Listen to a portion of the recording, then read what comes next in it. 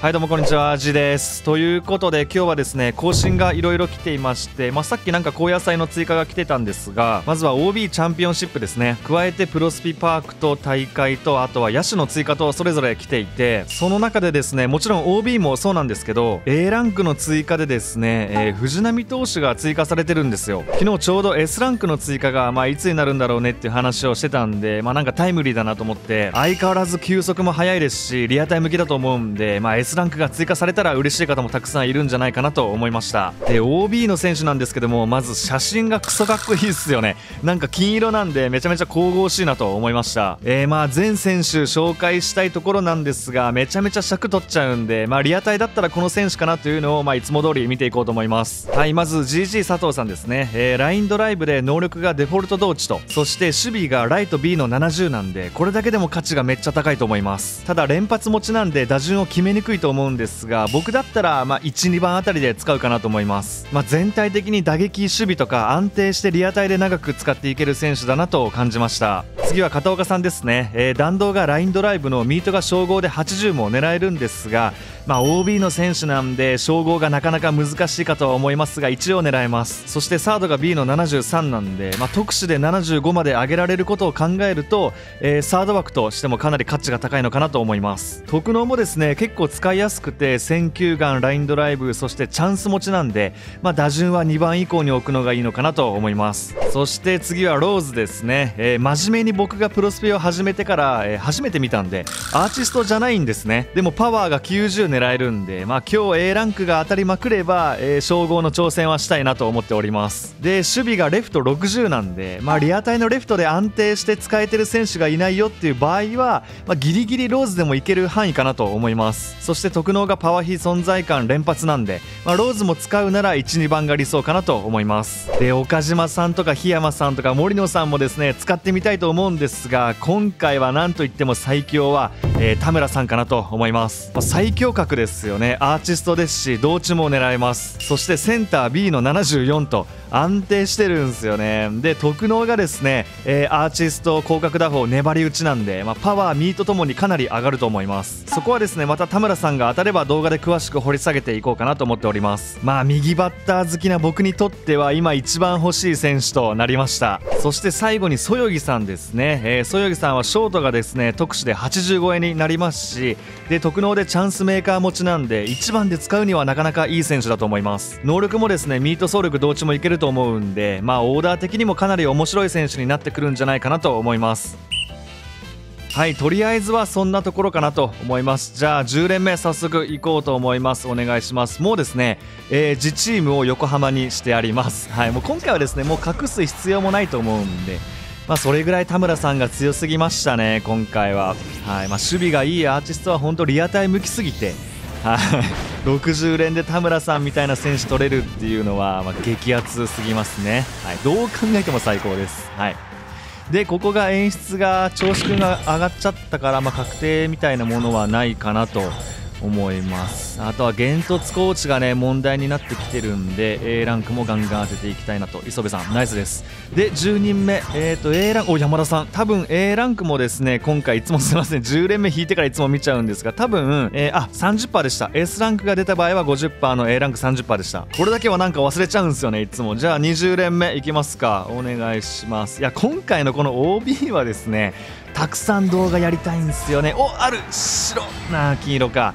やっぱりね背景がかっこいいからめっちゃ動画映えするし本当誰が来ても嬉しいかなっていう感じはあります。はい。いやー確定外で今日はどうかなってとこっすね。上がります。さあ最後調子くん。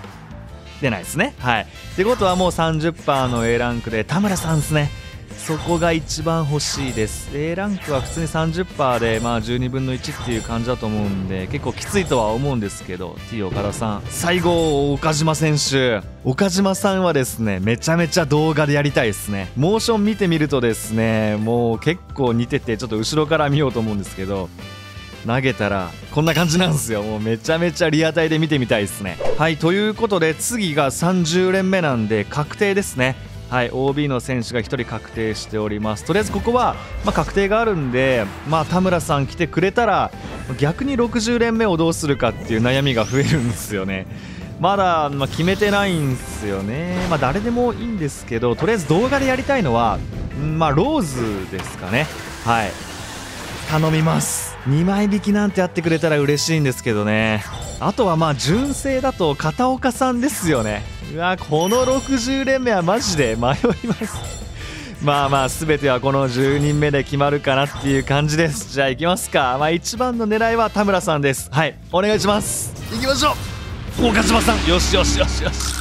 動画でやりますいやめちゃめちゃかっこいいっすね。これすごいな。なんか巨人のユニフォームめちゃめちゃ背景と似合いません？いいっすね。最高です。まあ A ランク当たんなかったんですが岡島さんがしっかりと当たりました。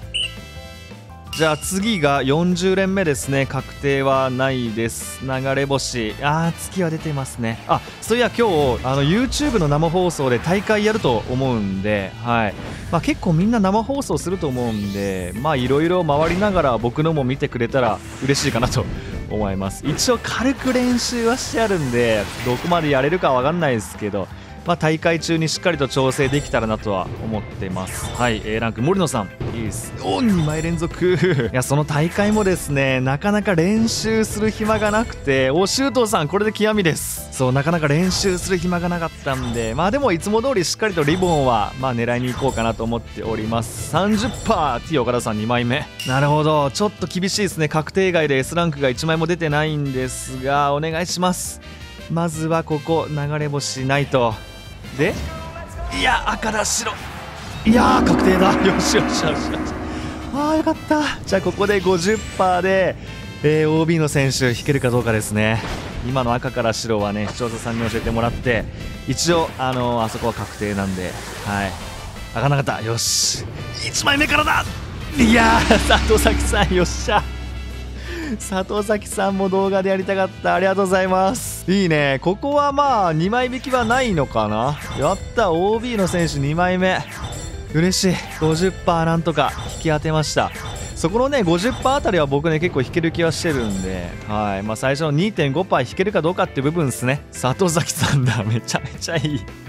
うわ最高だ。だって特殊で80まで上がりますからね守備が。で保守広角打法意外性と。意外性はパワー中アップ。え特定の状況か。あーこれちょっと皆さん教えてください。どういう状況なんですかね。さあ60連目は確定ですね。自チーム OB なんでちゃんと広島広島じゃない横浜になってます。よっしゃ行きましょう。お願いします。これ2枚引きの演出はえ流れ星からの足が光るでしたっけ？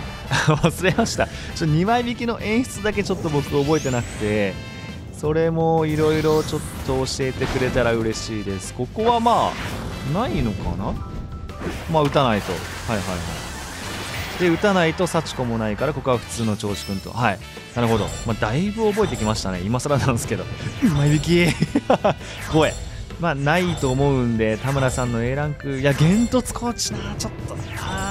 いや石田投手か。横浜は横浜なんですけどね。A ランクなかったです。ということで田村さんありがとうございます。最高っすね。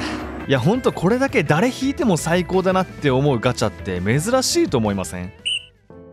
はいということでガチャはですねここまでとなるんですが田村さんをもし極みにして使うとなれば新庄さんどうするっていう感じになっちゃうんですよ。確かにまあ守備は80今9ですね。なんでめちゃめちゃいいんですけど田村さんが、えー、76まで上げられるんでしたっけ？特殊で。そうなるとアーティストでまあ能力も良くてってなると守備も良くてってなるともちろん新庄さんは純正では必須な選手なんでまあ使うことは使うんですけどガチオーダーで考えたら田村さんの方がいいんじゃないかって思い始めてきてるんですよ。まあそこら辺はですね、まあ、使用感とか、まあ、僕がしっかりと田村さんで打てるかどうかとかそこら辺も含めて動画やってからま決めようかなと思ってるんでまずは田村さんを育成してみてからの話になるのかな。はいまあ、でももしかしたら新庄さんと交代する可能性も、まあ、ちょっとだけ可能性が出てきたかなと思っております。はいということで最後までご覧いただいてありがとうございました。ぜひチャンネル登録や高評価よろしくお願いいたします。ということでありがとうございました。